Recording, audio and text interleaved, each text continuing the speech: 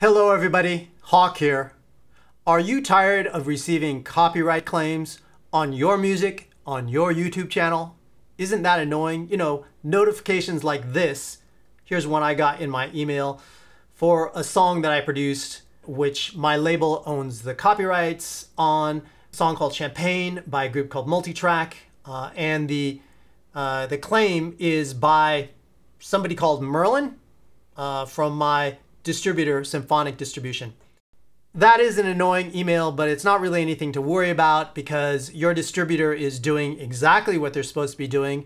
They are going out there with this system called Merlin, which is an algorithm for identifying or actually basically crawling the web and looking for your material, your songs uh, that you own that they can do copyright claims on.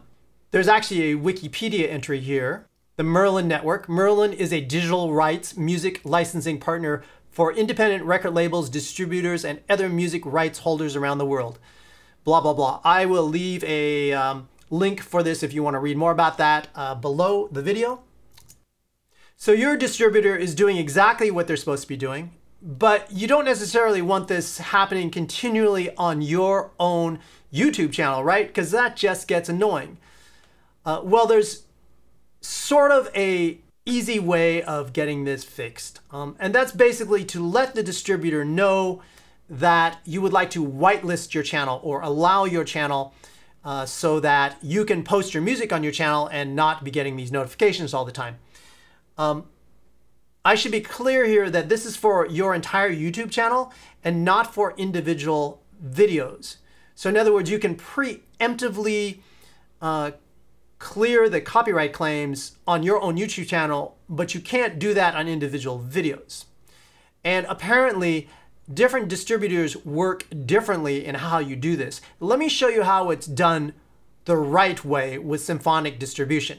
So if I go to the symphonic distribution page here, which is, by the way, the distributor that I use for my label, and I'm super happy with them. So symphonic distribution here. So here's my login page and I'm gonna go up here to my rights over here and I will go to the YouTube whitelist right here.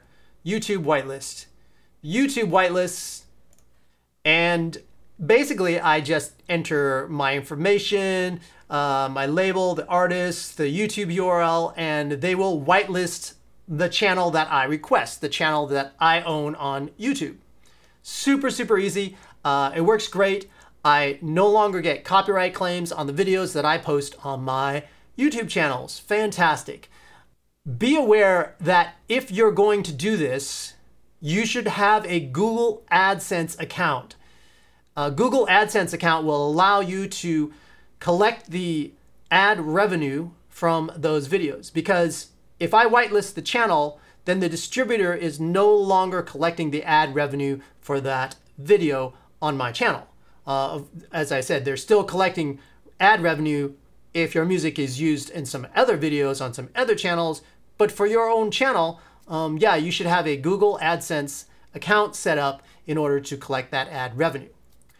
Now, I've noticed that different distributors deal with this a little bit differently. For example, if I go over to DistroKids here, under Goodies, under Helpful When Needed, I go to the YouTube Allow list. And I click on the YouTube Allow list. And this is a great explanation here. When you opt into YouTube Content ID from DistroKid, we automatically detect every video in YouTube that's using your music. Then we claim these videos on your behalf. Then we send the ad revenue to you instead of to whoever uploaded the video to YouTube. That's perfect, right? The problem here, well, it's not really a problem, which is how DistroKid does this, is that under the allowed videos here, um, you actually have to sign up for this. So uh, in order to sign up for it, uh, you have to go back to your release. Then under your release, down on the bottom of your release here, uh, there's the YouTube content ID for this release. Uh, they want $14.95 a year plus 20% of the YouTube ad, ad revenue. Ooh, ouch. Um, yeah, okay. Uh, yeah, that, that that's a little expensive um, for something. Um, so I guess what this means is that if you don't sign up for this, anybody can use your music on YouTube and they won't collect the ad revenue for videos that use your music unless you sign up for this and then they'll collect that ad revenue.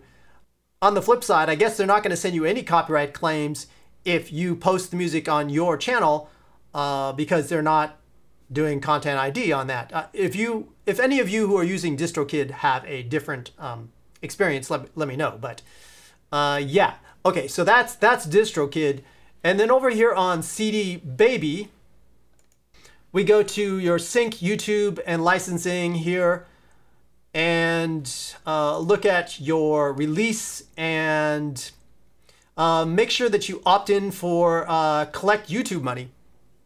So there's the same thing, which is collecting the ad revenue from YouTube. They're doing it on your behalf if you opt into it. But they're not charging you money. They're not charging you a yearly fee like DistroKid is to collect YouTube money.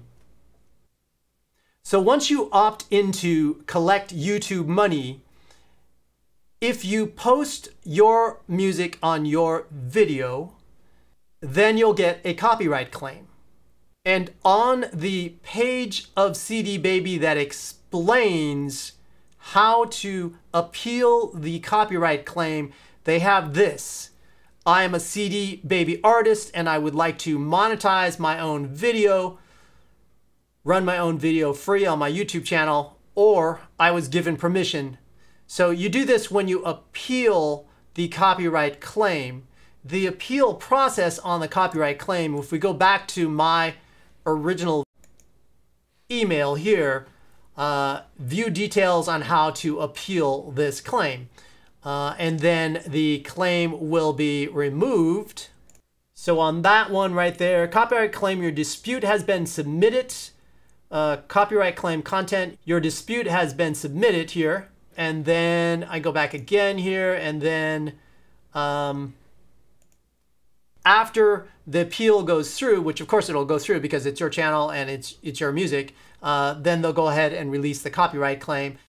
So I don't know if that means just one video and you have to do that for every single video because there doesn't seem to be anywhere on CD Baby that you can actually whitelist it as clearly as you can do on uh, the Symphonic page here. So as I said, Symphonic YouTube whitelisting for the entire channel is definitely the way to go and that's very convenient.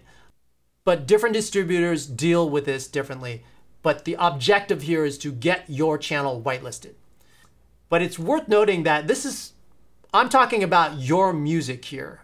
I'm talking about your YouTube channel and your music on your YouTube channel.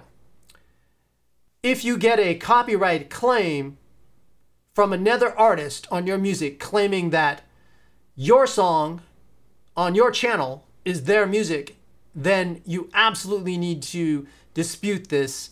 For example, here's a really annoying notification I got from Instagram here that says, we've removed your video because this other band says that the music that I posted is their music. Well, it was not their music, it was my music. So I had to appeal this and Instagram cleared it and went ahead and said, okay, we've received your appeal and reposted the video. However, this doesn't always work and I see another video here that uh, somebody else claimed it was their music. Well, I reached out to this artist, Xlid, and asked him to uh, watch out for this and make sure not to claim uh, my music as his own. Uh, and he actually got back to me and said, uh, sure, no problem. I'll watch out for it. Uh, he was very nice and pleasant. I think most artists generally are because Instagram actually didn't get back to me. Even though I appealed this, they didn't get back to me on this one and you know, it was my music. So that was really annoying. So you do need to watch out for this on the flip side of things because Merlin is not perfect. Whatever content ID system that Instagram and uh, Facebook, the Meta Corporation, is using is really not perfect. if they're not responding to you, go ahead and reach out directly to the artist and touch base with them and let them know uh, that you received this notification and that it's actually uh, your music. I mean, nobody, I don't know any other artists out there that want to take credit for a song claiming it's theirs when it's not actually their music. Uh, I think it's bad karma to go ahead and try and claim somebody else's music as your own, right? All right. Um, I hope that helps. Uh, whitelisting is what we want to achieve. That is the objective here. If you're receiving copyright claims uh, for your music on your channel, uh, but different distributors go about this differently. So uh, good luck with your distributor. And if you're using symphonic distribution, it's super simple. All right, I hope you found that information valuable. And if you enjoyed this video, please uh, subscribe to the channel and uh, hit the little bell button below to receive notifications when a new video comes up. And I look forward to seeing you guys again very soon. Ciao.